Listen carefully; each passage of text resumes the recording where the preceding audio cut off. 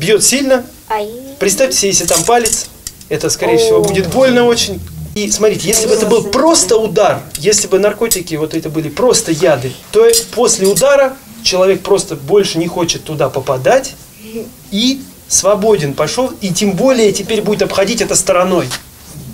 А зависимость, э, яды, вызывающие зависимость, это как бы челюсти, которые не размыкаются.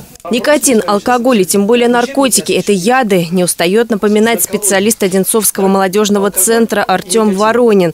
При этом подчеркивает, из мышеловки вырваться проще, чем побороть зависимость. Справиться с болезнью самостоятельно шансов мало, поэтому лучше сделать все, чтобы ее избежать. А для этого достаточно здраво мыслить. Алкоголь не по идее не должен быть в шаговой доступности.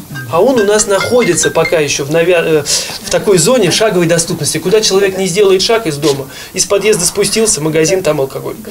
За продуктами, ну надо же нам за хлебом сходить, за продуктами питания кушать надо три раза в день как минимум.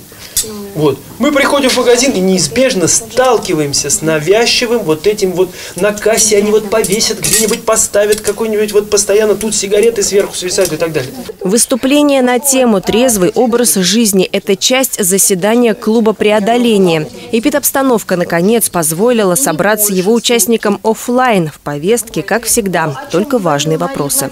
Самая главная задача наша и вообще всех органов системы профилактики – это сохранить для ребенка семью, семью биологическую, естественно.